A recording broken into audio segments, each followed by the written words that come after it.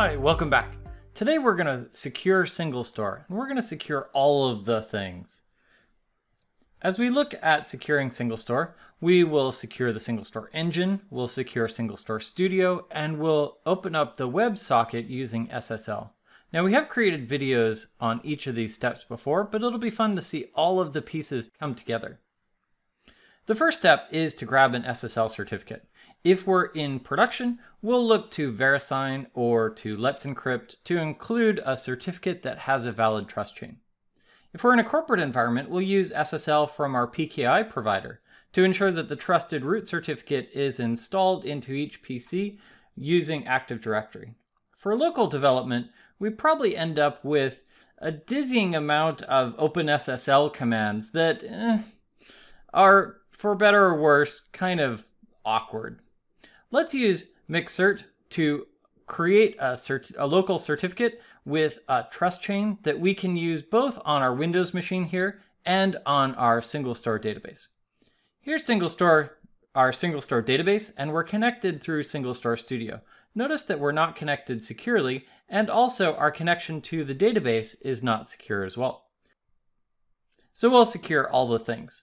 I've downloaded mkcert onto my machine, and the first step is to do a mkcert install. Here's mkcert.exe for Windows and mkcert for Linux that we'll use as we dial into our cluster. Let's run mkcert install.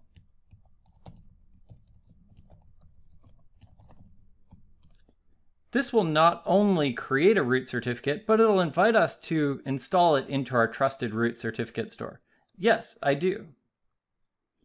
Now we have this trusted root certificate here in app data local mkcert we're going to grab both the trusted root certificate and the key, and we'll set it into the place where we have a shared folder with our Linux box.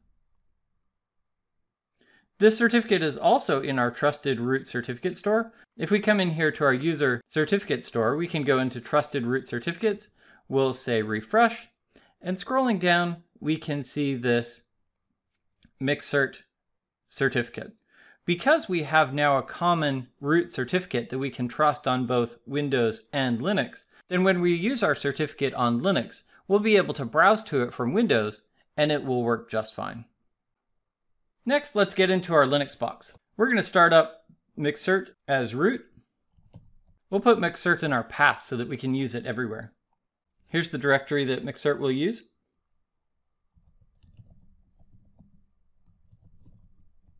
We now have both the root certificate and the root certificate key in the spot that mkcert expects that trusted root to be.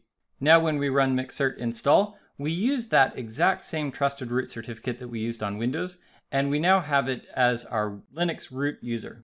We've created a directory for our certificates that we can use in all the places we need to with SingleStore. Back as our regular user, let's install mkcert here as well.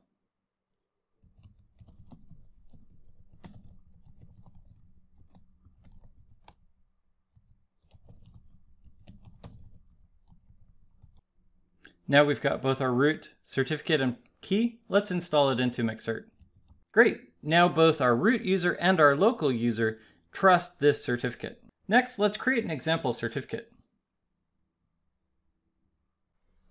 Now here in our certs directory, we have a certificate that matches all of the host names that we could possibly use on this machine. Now let's apply this to the database engine.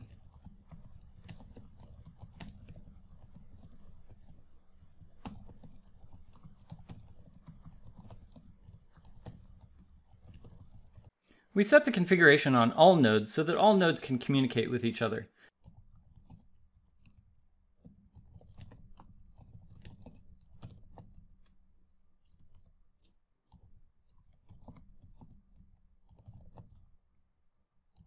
Now that we've set the configuration, let's restart the nodes to get it to take effect. Now let's log in and check. The show status command is, allows us to see the connection, and we can see that we're using TLS version 1.2. Perfect. Now let's create a user that requires SSL to validate that we can connect this way. The require SSL command is the one that validates that we can only use SSL to connect. Now let's try logging in.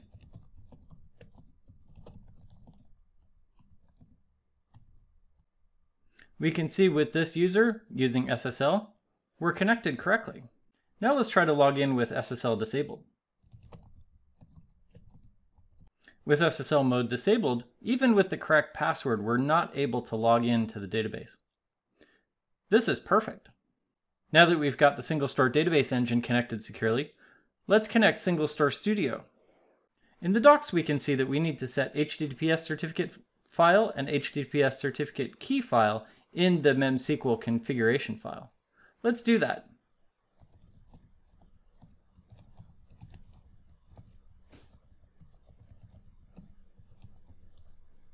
Though not required, let's also change the port to make it more obvious that this will be secured with SSL.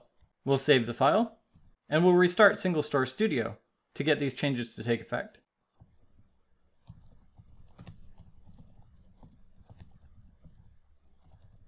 Now back in our browser, let's log into the new port.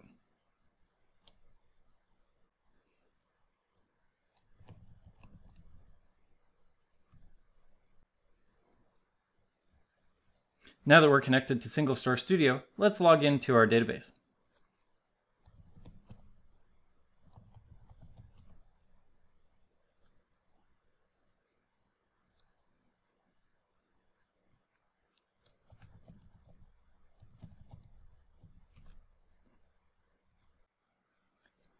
Now we can see that not only are we connected securely with the lock, but here in our certificate, we do have a trust chain based on that original mkcert root certificate that we installed. Now that we've got both the database, engine, and SingleStore Studio secured, let's turn on a secure WebSocket that allows us to connect from various applications. We have here a React app that is trying to connect on that WebSocket and is currently failing. Let's turn on the WebSocket so that we can get this app to connect.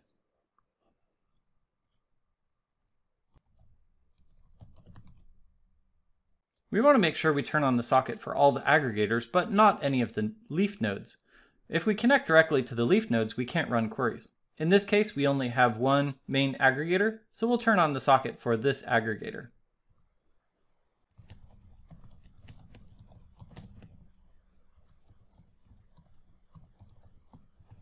Now that we've set the WebSocket port to 9443, we'll restart all the nodes to take effect. Technically, we need only restart the aggregators, but restarting everything can't hurt. Now that we've got everything restarted, let's adjust our React app.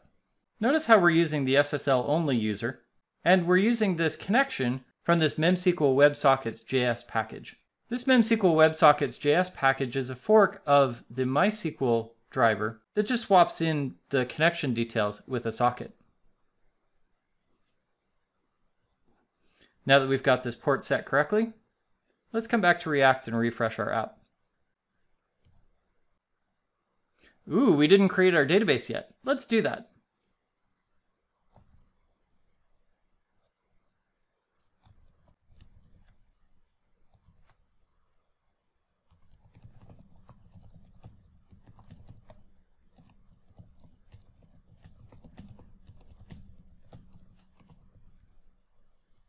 Now with that data cr created, Let's refresh our React app. Great, we got a live connection from React directly into our database without the need to proxy through MemSQL Studio. Now let's use this proxy for MemSQL Studio as well. In the docs, we can go look for the memsql studio.hcl file, which is the cache of all of the connections to our data store. Let's edit that. Here's our SingleStore database. We need to change the port to our SSL port. We'll turn on WebSocket. And we also need to update the host name. Now, if we are connecting straight from MemSQL to the engine, it would be running on localhost. But we're connecting from the browser now to the engine, so we need the IP address of our machine. Now that we've got that connection set, let's log out and back into SingleStore Studio.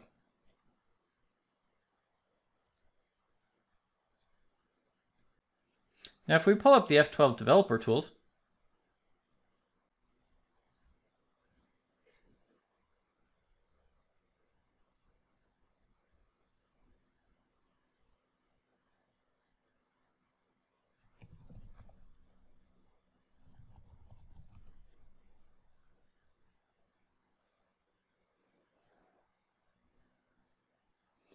Now let's take the new connection out for a spin. Here in the network connection, we can search for proxy, and we'll see the various SSL connections to the WebSocket port.